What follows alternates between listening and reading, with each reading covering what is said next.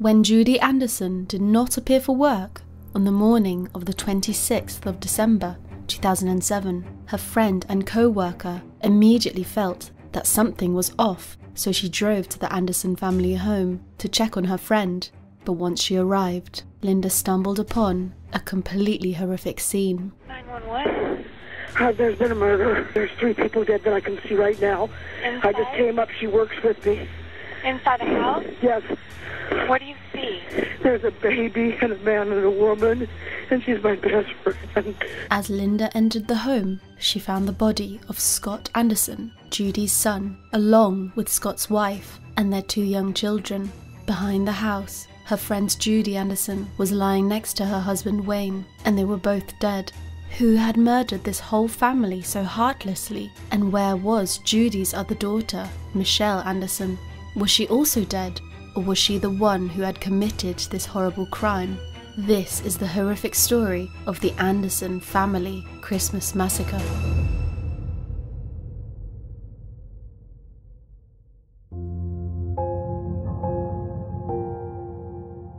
Sixty-year-old Wayne Anderson was a Boeing engineer, and he had been happily married to his wife, 61-year-old U.S. Postal Service worker Judy Anderson, for 31 years.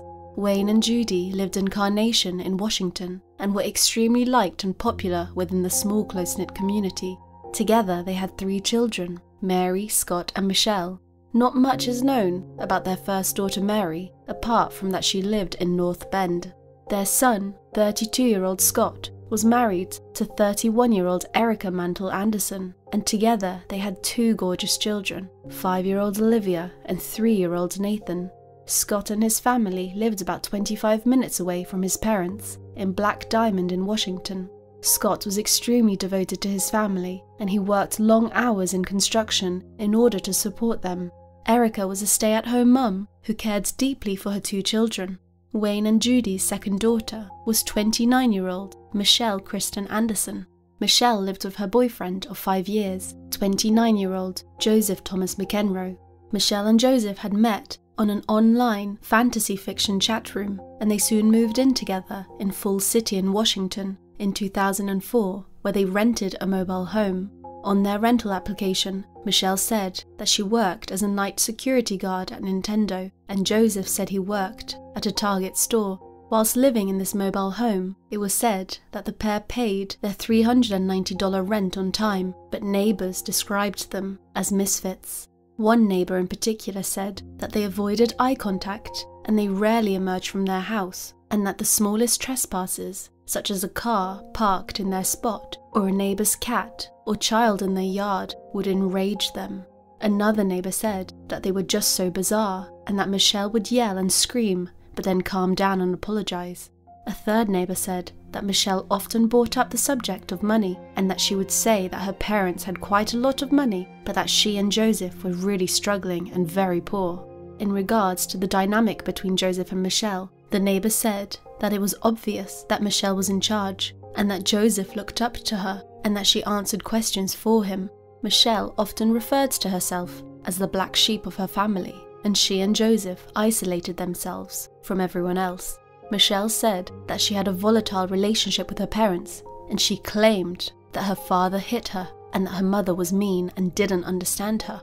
Michelle's mother Judy, on the other hand, was worried about her daughter's lifestyle and would often relay her concerns to her best friend Linda. Judy would try and often visit her daughter and Joseph at their mobile home, and neighbors said that they saw Judy arrive once a month bearing food and other items. One day, one of Michelle's old school friends, called Jennifer Chandler, went to visit Michelle and Joseph at their mobile home in Fall City. Jennifer said that the mobile home was sparsely furnished and the couple had black material over the windows. When Jennifer asked why, they said that they were sure the neighbors spied on them and that they had tried to break in and that they were basically just out to get them. Jennifer said that Joseph was a little weird and that he had a speech impediment. She said he was always talking about his spirit guide, telling him how to live his life. Jennifer said that during this visit, Michelle had mentioned how she didn't want to move back onto her parents' property, but that did end up happening. And by 2007, Michelle and Joseph moved out of their mobile home in Fall City and moved into a trailer on her parents' land and started to live rent free.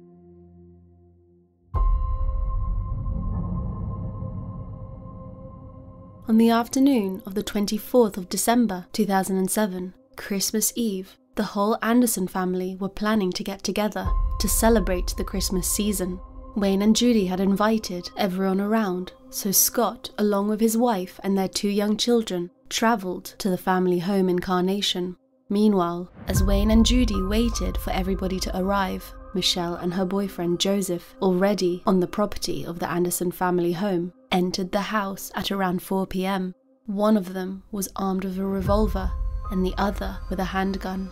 Joseph distracted Judy, who was wrapping Christmas gifts at the back of the house, whilst Michelle approached her father Wayne and she tried to shoot him.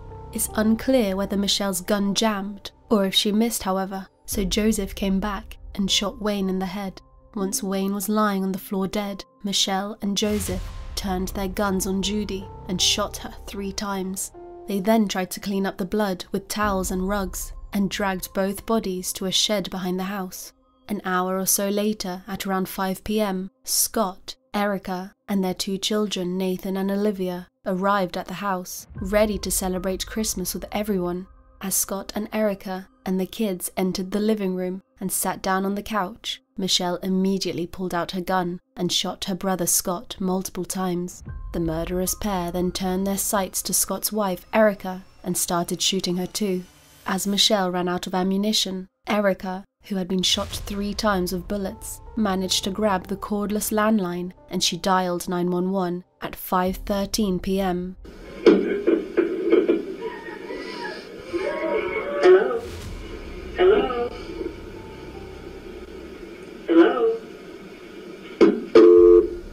Joseph, however, grabbed the phone out of Erica's hands and took the batteries out, throwing the phone against the wall, which abruptly ended the 911 call. With Erica pleading for her life, Joseph then shot Erica in the head, killing her immediately. Joseph then turned to the children, shooting five year old Olivia first. Heartbreakingly, little three year old Nathan picked up the batteries off the floor and tried to hand them back to Joseph, but an unfazed Joseph just pointed his gun at the young boy and shot him as he was clutching his mother's chest. Following the 911 call made by Erica, the police were sent to the Anderson home to investigate the suspicious call, and they arrived at the property at 5:45 p.m. Michelle, however, predicted that the police would probably come following Erica's 911 call, so she had gone and locked the front gate that led up to the house at the end of the driveway. According to the dispatcher's log, the deputies reported, Gate is locked, unable to gain access, so without any further attempt, the police just turned away and left the house, unknowing of what was inside.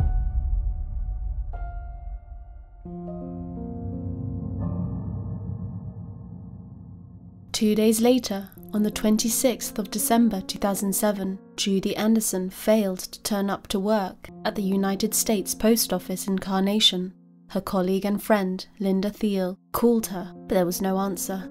Linda immediately felt that something was off, so she drove to the Anderson family home to check on her friend.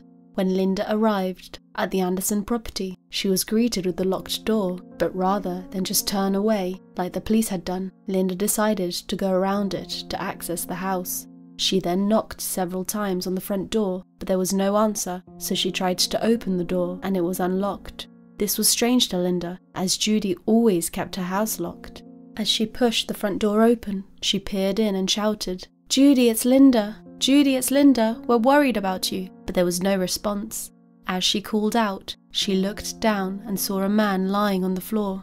At first, she thought he had been poisoned with carbon monoxide, so she got ready to try and pull him out the house. But to her absolute horror, she noticed that the man had been shot in the head. And when I stepped over the body, I could see that the body had been shot in the face. She immediately looked around and she saw more victims lying on the floor, so she quickly called 911. 911?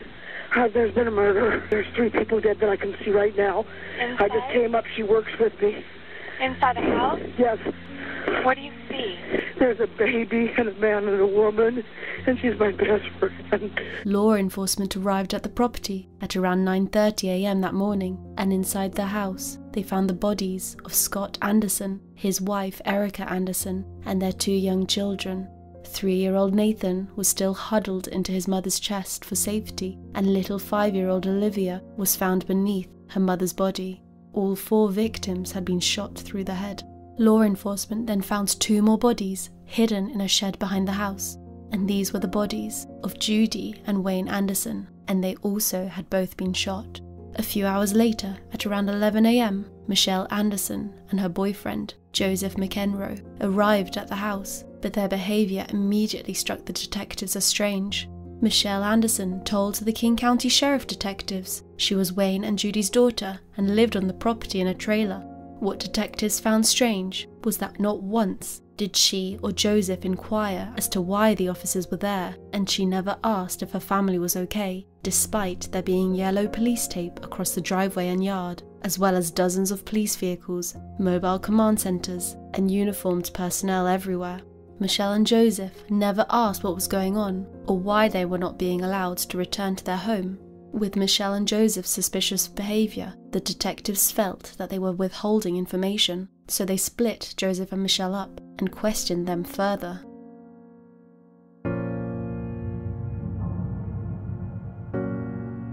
Whilst being questioned, both Michelle and Joseph explained how on the 24th of December they decided to drive to Las Vegas to get married, but they got lost on the way and so they turned back. They both outlined how they had surprised Michelle's parents, Wayne and Judy, with the news of their pending marriage that morning, and that Wayne and Judy had been very happy for them. However, when confronted with their story again, both Michelle and Joseph confessed that this was in fact a cover they had discussed between them, and Michelle immediately broke down and said, What the hell have I done? I'm a monster. After waiving their constitutional rights, both Michelle and Joseph gave lengthy confessions to murdering all six family members. Michelle even led them to where she and Joseph had discarded one of the two guns. In her questioning, Michelle made it very clear to detectives that she had been upset and angry with her brother Scott. She said that she had been very close to her brother until he had gotten married, and she added that Scott supposedly owed her a lot of money. Michelle alleged that she had given her brother Scott money on numerous occasions and that the last time was years ago, and apparently he owed her a total of around $40,000. She told the detectives that she was upset with her parents too because they would not support her in her conflict with her brother, and she said that she had been slighted and mistreated by her parents.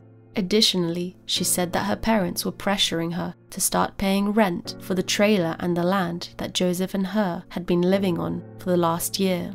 When asked directly why she had killed her entire family, Michelle stated that she was tired of everybody stepping on her. She stated that she was upset with her parents and her brother, and if all the problems had not resolved by the 24th of December, then her intent was definitely to kill everybody when asked specifically about Erica and the children, she stated that it was a combination of not wanting them to have to live with the memories and not wanting there to be any witnesses. Joseph himself later claimed that he killed the children because Michelle had told him to, because she herself couldn't do it. They also added that they didn't want the children to grow up having witnessed their parents' death. Later on, in a jailhouse interview, Michelle claimed that she grew up being told that she should have never been born, saying, I told them to stop or I would snap, and they knew what I meant. They just pushed me too far. I just don't know why they had to push me so hard. When detectives asked Michelle how long she'd planned to kill her family, she told them that she had been planning this for two whole weeks. And finally, with all these confessions and reasonings behind the killings, the King County Prosecuting Attorney's Office charged Michelle Anderson and Joseph McEnroe with six counts of aggravated murder in the first degree with a firearm on the 28th of December 2007.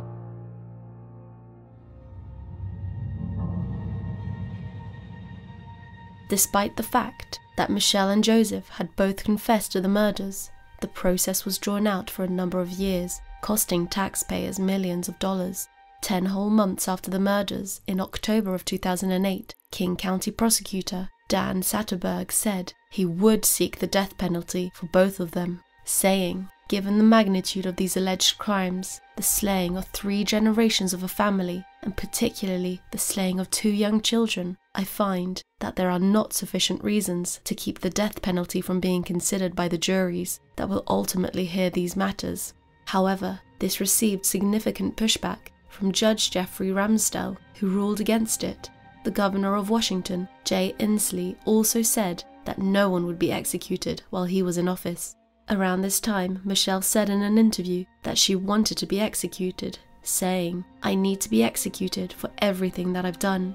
Deciding that I want to die was the most difficult decision I've ever had to make, and I was able to make it without a second thought because I know what I've done and I want to take responsibility for it. I'm a different kind of person.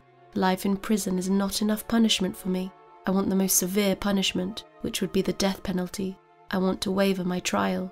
More years passed, and on the 5th of September 2013, the Washington State Supreme Court overturned Judge Ramsdell's ruling regarding the death penalty and ordered that the trials of Joseph and Michelle go ahead and that the death penalty would be on the cards.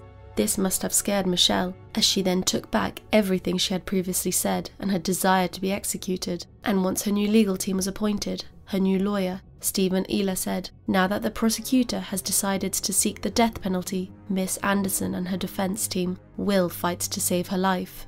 And so, both Joseph and Michelle were both to be tried separately almost seven and a half years after the murders took place.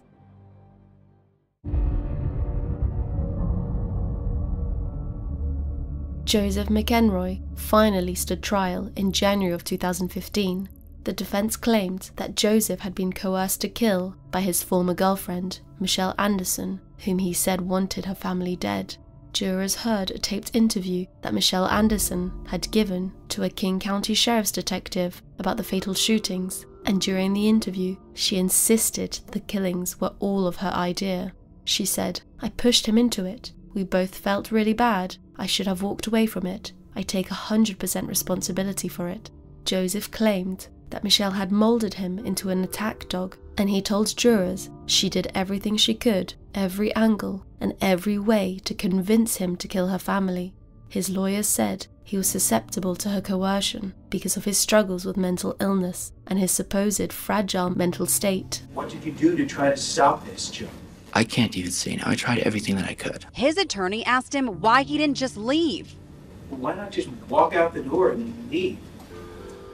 I couldn't do that. Joseph's aunt, Mary Turner, testified about her nephew's chaotic upbringing and claimed that Joseph was the son of a mentally and economically unstable mother. She said that his mother beat him, verbally abused him, and used him to manipulate her own parents for money. During his testimony, Joseph said that he killed Olivia and Nathan because, in his words, if they weren't already corrupted, they would be by this. The only decent thing to do was to free them. At least they didn't suffer, he said. At least nobody suffered. The way that it is, at least nobody suffered. Finally, on the 25th of March 2015, the jury came back with guilty verdicts on all six counts, including the aggravated circumstances and firearm enhancements. At sentencing, however, Joseph's defense continued to paint him as a mentally ill man who had been manipulated by his girlfriend. McEnroe, M C E N R O E. Sorry. I'm sorry. I'm terrible. Um, I'm sorry I did because I thought I had to. And yeah, I know that's not a very good excuse, but it, I'm not trying to excuse myself. I'm just trying to explain my actions. Joseph appeared to be heavily medicated on the stand, and he even almost broke down a few times. Joe, how often do you think about killing the Andersons?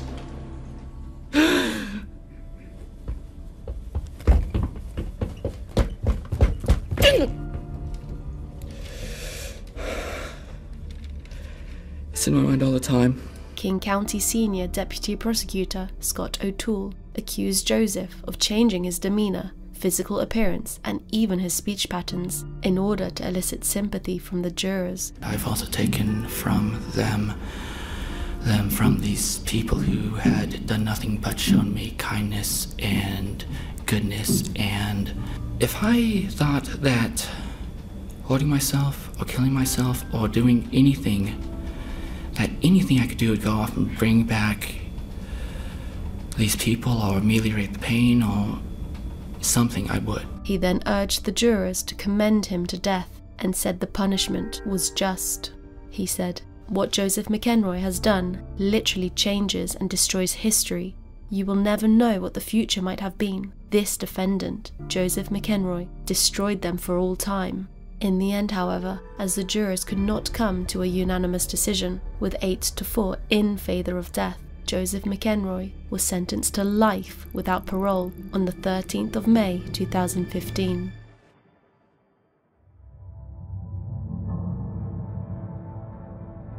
Eight years after the murders, Michelle Anderson's trial finally began in January of 2016. While Michelle initially faced the possibility of execution for the killings, King County prosecutor Dan Satterberg took the death penalty back off the table after two different juries declined to impose death sentences in two other capital murder cases in the past year, and one of those cases was against Joseph McEnroe. So today I am announcing my decision to withdraw the notice of intent to seek the death penalty in the case of State versus Michelle Anderson. The jury in the trial of Michelle Anderson's accomplice Joseph McEnroe heard all of the evidence in that case and they found him guilty. And because the jury was unable to unanimously agree that the death penalty was warranted, the result for him is a sentence of life in prison without the possibility of parole, which is the only other sentence under Washington law. To proceed with the death penalty against defendant Anderson, in light of the sentence imposed on defendant McEnroe, would not be in the interest of justice. We have fought long and hard in court to preserve the option of the death penalty for the McEnroe jury, and I measure our success in the fact that the jury did ultimately have this option, even though they could not unanimously agree. But now, faced with the trial for Ms. Anderson, an accomplice whom we allege is equally culpable for the crimes, we must take the steps to equalize the potential punishment that she faces. During this trial, Michelle cried and hung her head at times, but she declined to address the court. Her defense attorney, Colleen O'Connor, said that Michelle Anderson was very remorseful and apologized to everyone involved. Prosecutor Scott O'Toole, on the other hand, said in his opening sentence that the motive for these murders was pure, unadulterated greed. He said this in reference to the initial interview Michelle had had with the detective, in which she brought up money more than 35 times in her explanation as to why she killed her family. The jurors heard more recordings from this interview, and Michelle contradicted herself several times. She went from calling herself a monster and a bad person for murdering her family to then saying her mother, father, and brother had apparently abused her over the years. She said, I wanted my mum, brother, and dad to die because they abused me over the years. I wasted my life because of these assholes. It's not fair.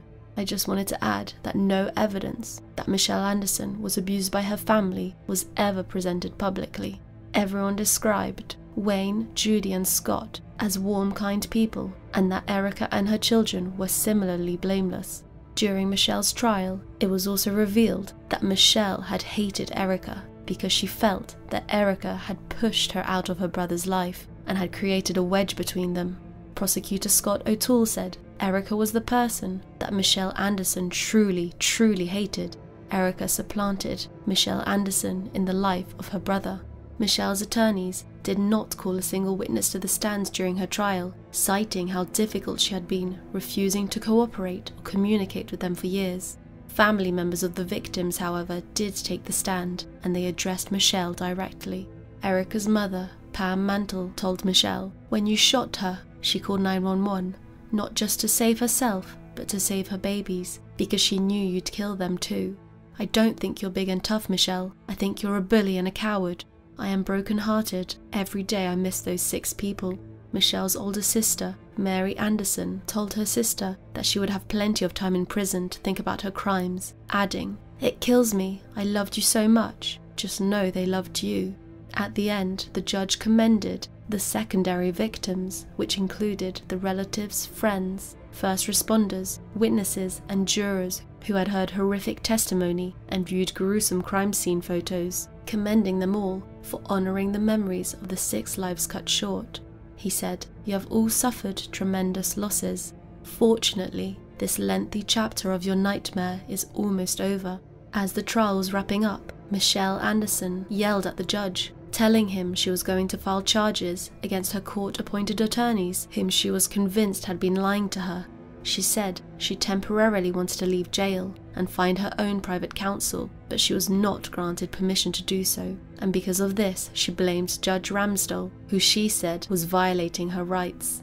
But finally, on the 4th of March 2016, just like her ex boyfriend, Michelle Anderson was convicted of six counts of aggravated murder in the first degree, and on the 21st of April, she was sentenced to life in prison without the possibility of parole.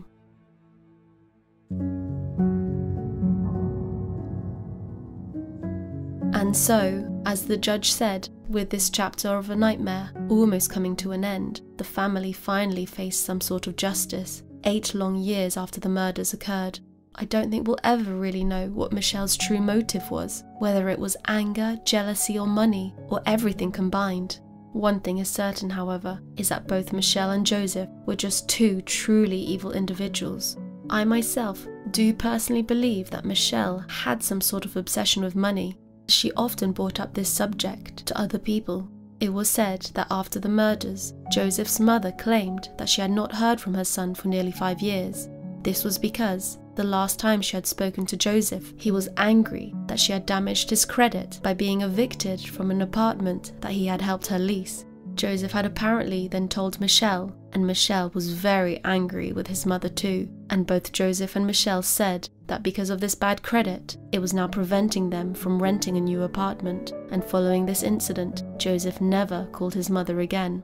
This obsession with money, fueled with the jealousy towards Michelle's brother's wife, Erica, alongside the resentment she had towards her parents, just turned Michelle into a rageful, evil person. Maybe Michelle couldn't bear to see the happiness between Scott and Erica and the beautiful little family they had together. As for Joseph, his part in the murders is incredibly strange, as he seems to have little to no motive. He just went along with what his girlfriend wanted and selfishly took the lives of three generations of the Anderson family. Overall, this case is just completely heart wrenching. To have six people murdered in a time that's supposed to be filled of happiness and love, when families are supposed to come together and celebrate and be together. It's completely devastating. At least we know these two monsters will never see the light of day again and will never be released. Joseph is currently imprisoned in the Washington State Penitentiary, and Michelle Anderson is currently imprisoned in the Washington Correction Center for Women, and thankfully, they will never, ever be released. As always, my heart goes out to everyone who was impacted by this horrendous crime, and in particular to Mary, who lost her whole family in just one day her parents, her brother, her sister in law, and her niece and nephew. And as always, I just want to finish off by saying, rest in peace, Judy, Wayne, Scott, Erica, Olivia, and Nathan.